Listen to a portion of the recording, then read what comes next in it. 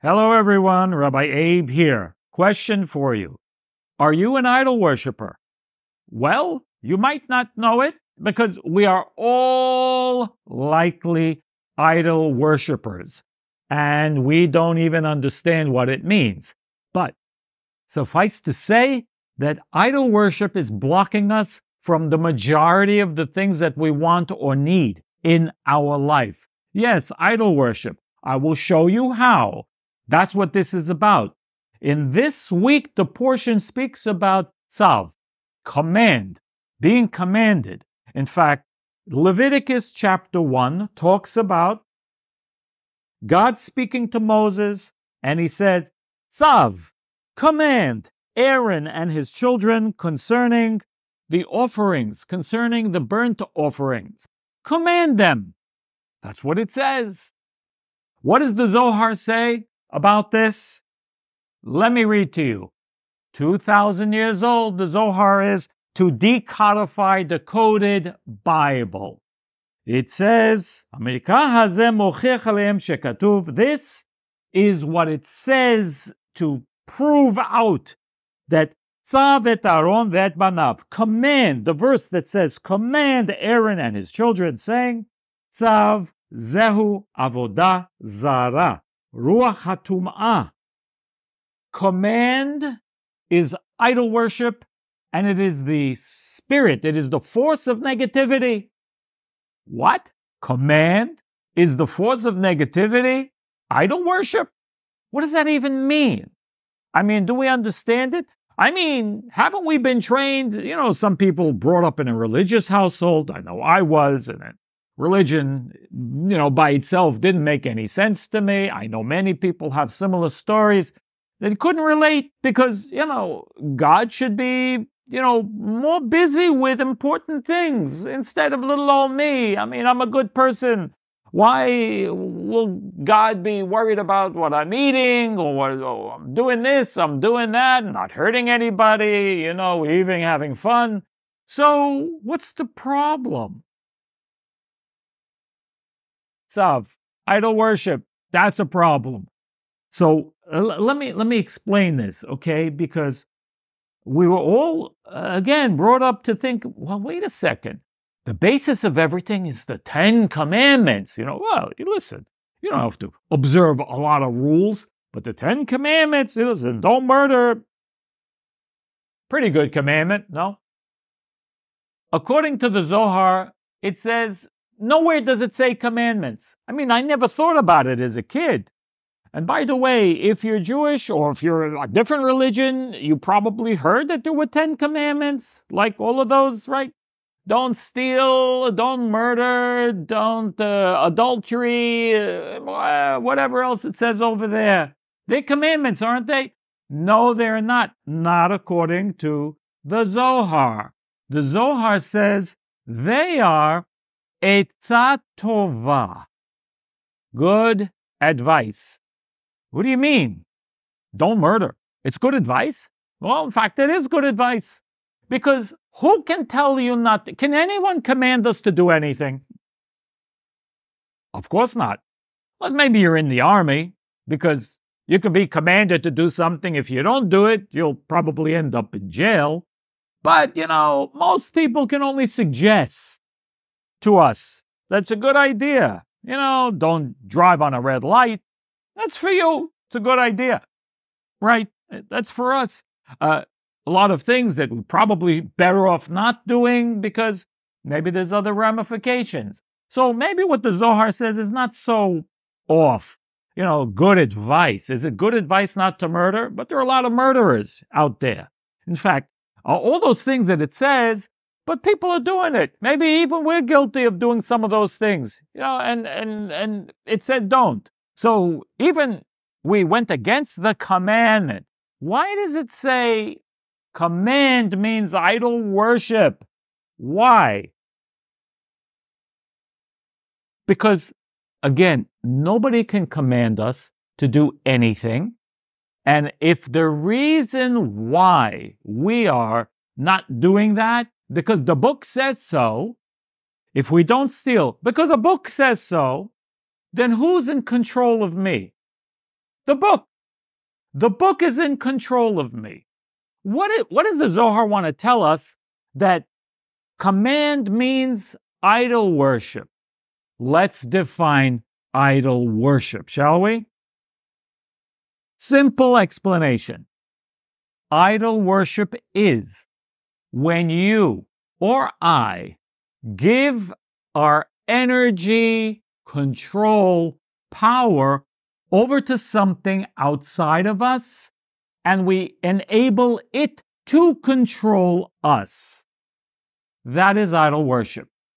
Give you an example. When we become angry, we give over control of our emotional behavior at this moment to something called anger. Now, without getting into all the details about anger, anger is a force. It's a highly negative force which poisons our entire body, the liver, and I won't get into all the explanation of what the Zohar says about anger, but it's pretty bad. In other words, there's a negative effect. But we give our control over so much that sometimes if we really, really became enraged, you know, another person might say about us, you know, I don't know, they became like a different person. Yeah, that's true. Because in that moment, you did, or we did, or they did. Because all the things that the Zohar speaks about anger is that another force jumps inside. Uh, you know, again, it's so negative. I don't want to go there. A person may even need to rebuild their entire you know, spiritual, uh, whatever they've created in the immediate past because you lose a lot of stuff when you're angry. You may have a ton of energy when you're angry, but when it's done, ha, you know, it's almost like the other side is laughing at us and, ha, ha, see, I got you.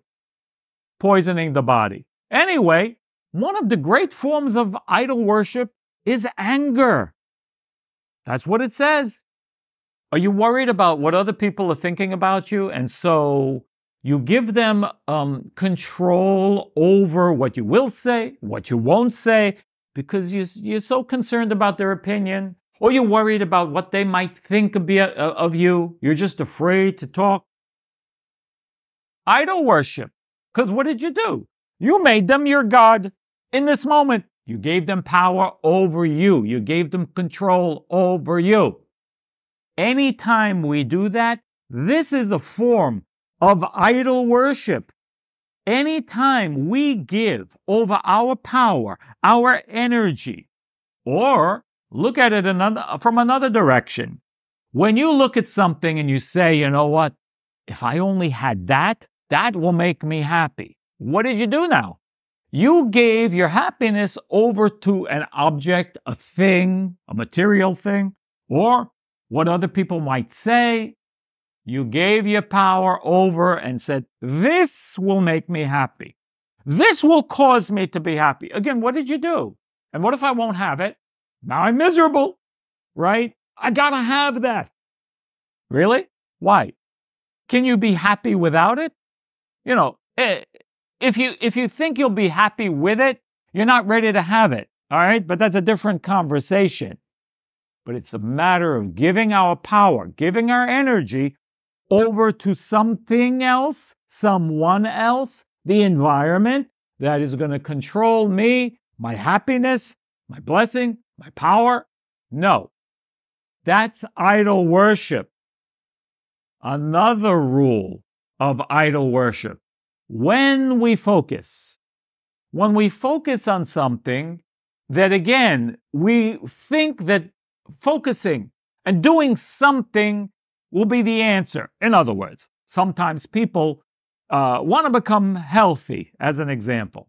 So I'll give up. I'll, I'll give up sugar and carbs. Good idea. For how long? I'm going to go work out. For how long? Now, let me ask you a question. You want to build yourself. So you go to the gym once. What do you think? Look at me now. You went to the gym once? Oh, you took supplements or you ate the right foods once? You mean you went on a diet? Diets, I'm sorry to say, diet is idol worship. Why? Because you think the diet now will cause you to lose weight, and you know what? It probably will. For how long? Temporary. So you gave your power over to the diet, and the diet is now, this is running my life. The diet runs my life. And I lost my weight. And now what do you do? 99% of the time. Not all the time, just 99% of the time. You go back to exactly the way you used to eat before, and you will not only gain it back, but you will gain a little bit of interest. It has to be, because there's a little negativity that was created that's left over. We call it klipot. It's the negative interest you get for this reactive idol worship of focusing on what you think this is the answer to my problem. No. You know, it says in the scriptures, in the books, that what you do regularly is more important than what you do once in a while. You know, so this is meant for different things like, oh, I don't know, you know, certain times a year people become pious or even religious, whatever the religion is, if it's Easter, if it's Passover or uh, New Year, Rosh Hashanah, or uh, you know Christmas, people can become you know pious in a moment. Now I'm going to church. Now I'm going to my synagogue. Now I'm going to my mosque because this is the time that I'm. You know that I need to just in case, just in case there's something really going on out there. You know, God is maybe is watching. You know, because the rest of the year not so much. But yeah, just in case there's something, that's why I call it the just in case people. Just in case. Let me make sure my bases are covered. Okay?